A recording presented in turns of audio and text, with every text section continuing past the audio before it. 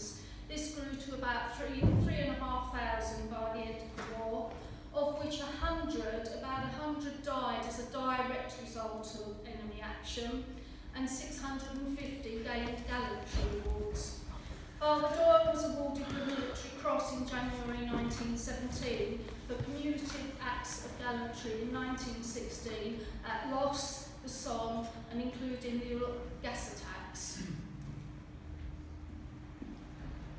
So Father Doyle was a prolific and engaging letter writer, and he wrote to his father on the 3rd of May 1916 describing the first gas attack. His account starts on Wednesday, the 26th of April, when British guns fired on the frontline German trenches in an effort to destroy suspected gas cylinders. The Germans returned fire. Father Doyle wrote, on Wednesday morning, the enemy began a slight bombardment, which gave me a chance of anointing some of my men who were rather badly hit. At that time, his men nominally were the two battalions shown in red, the 8th Royal Irish Fusiliers and the 8th Royal Inniskilling Fusiliers, but effectively he thought of all his, of, of the men of the 16th Irish Division as his. He continues, I little thought that an insignificant act of charity on my part would have led to such big results, but events prove that our Lord does not forget even the cup of cold water given in his name. The incident was this. I came across an officer who had been badly shaken by an exploding shell, though he had escaped with a slight scratch. I brought him to my dugout and made him sleep in my bunk, for I knew in any case I could not turn in before 1.30 that night. Now this is a trench map of the sector. You see the red German um, trenches um, to your left, yes? Right, yes, the red German trenches to your right. Each square represents 500 yards. If the map showing the blue trenches extended to the left of the yellow star in a yellow in a straight line, Father Doyle's dugout would have been found about another 500 yards on. However, when I did lie down, I found I could not sleep without a blanket on account of the cold. Night air still being very chilly. About four o'clock, the thought struck me that it would be a good thing to walk back to the village to warm myself and say an early mass for the nuns, who usually have to wait hours for some chaplain to turn up. The village Father Doyle proposed walking to that Thursday morning was Mazingarbe, the lower red circle. They had been very kind to me, and I was glad of chance of doing this little service for them. The village is about two miles behind our trench, in such a position that one can leave cover with perfect safety and walk there across the fields. So this is a recent photo looking towards Mazingarbe. As I left the trench about 4.45, the sun was just rising. It was a perfect morning, with a gentle breeze blowing. Now and then came the crack of a rifle, but all was unusually calm and still. Little did I think of the deadly storm about to burst and hurry so many brave men into eternity. I had just reached the point marked X, halfway between our trenches and the village, when I heard behind me the deep boom of a German gun, quickly followed by a dozen others. In a moment, our gunners replied, and before I could well realise what was taking place, the air was alive with shells. At first, I thought it was just a bit of the usual good morning greeting, and that after 10 minutes artillery strafe, all would be quiet once more. But I soon saw this was a serious business, for gun after gun and battery after battery was rapidly coming late into action, while at the lowest number, 500 guns were roaring all around me a magnificent, if terrifying, sight.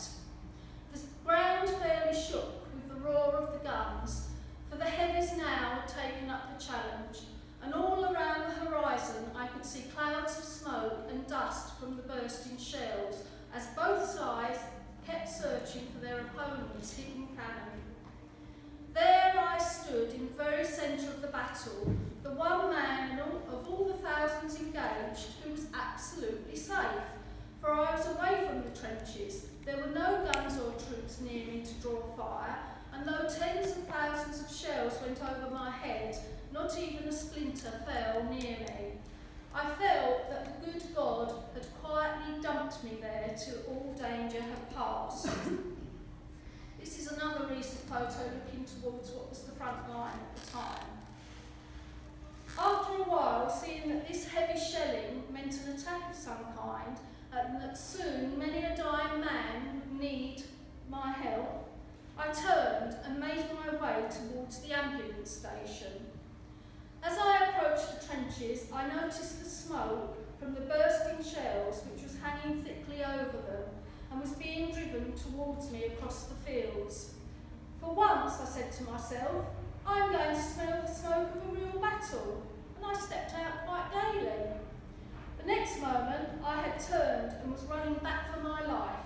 The Germans had started a poison gas attack, which I had mistaken for shell smoke, and I had walked straight into it. After about 20 yards, I stopped to see what was to be done, for I knew it was useless to try and escape by running.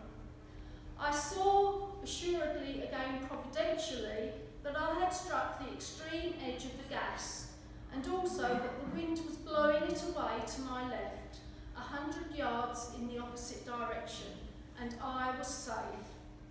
I must confess, for a moment I got a shock, as a gas attack was the very last thing I was thinking about.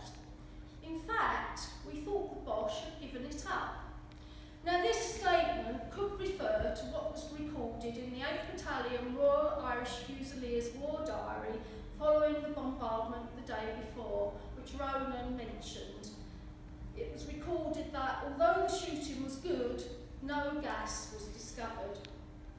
Father Doyle continues, Fortunately too, I had not forgotten the old days of the chemistry room at Ratcliffe, nor Brother Thompson and his stink bottles, so I knew at the first whiff it was chlorine gas, and time for this child to make tracks. But I was not yet out of the wood. Even as I was congratulating myself on my good fortune, I saw both right and left of me, where I stood, the green wave of a second gas attack rolling towards me, like some huge spectre stretching out mm. its ghostly arms.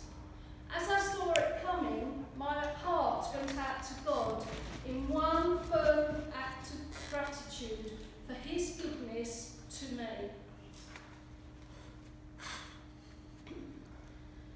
As you probably know, we all carry smoke helmets slung over our shoulders in a case to be used against a gas attack.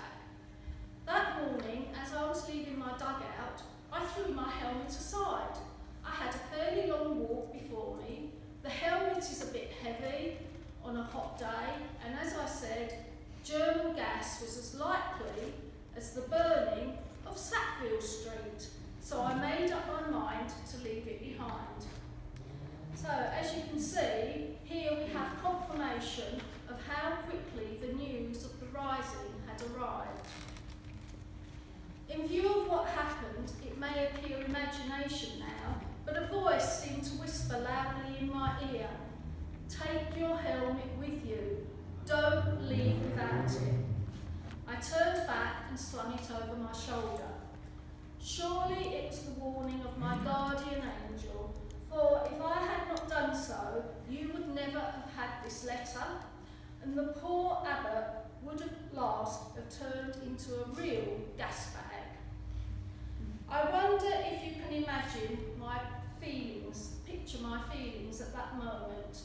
Here was death in its most awful form, sweeping down towards me, Thank God I had the one thing that which could save me, but with a carelessness for which I ought to be scourged, I had never tried the helmet on and did not know if it were in working order. In theory, with the helmet on, I was absolutely safe, but it was an anxious moment waiting for and to make things more horrible, I was absolutely alone. Well, Father Doyle was a bit of a maverick, and he was often allowed to be so, which would explain his lack of practice in trying on the helmet. But I had the companionship of one who sustained me in the hour of trial, and kneeling down, I took the pyx from my pocket and received the Blessed Eucharist as viaticum.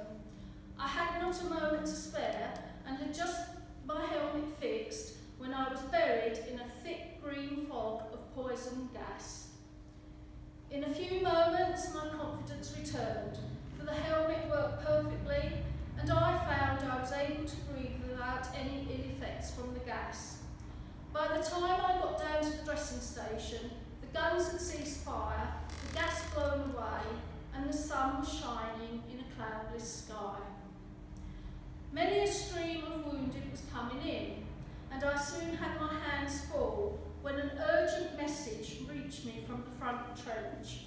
A poor fellow had been desperately wounded a bullet had cut him like a knife across the stomach, with results you can best imagine. He was told he only had a few minutes to live, and could they do anything for him? I have only one wish before I die, he answered. Could you possibly get me Father Doyle? I'll go happy then.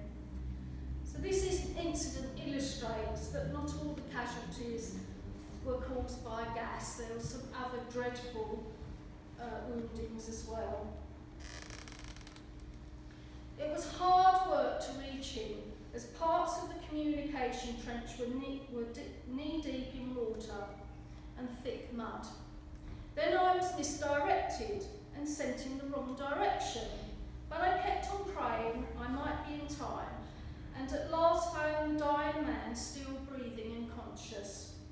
The look of joy which lit up his face when I knelt beside him was reward enough for the effort I had made. I gave him absolution and anointed him before he died, but occupied as I was, I did not notice that another gas attack had begun. Before I could get my helmet on, out and on, I had swallowed a couple of mouthfuls, which did me no serious harm beyond making me feel rather sick and weak.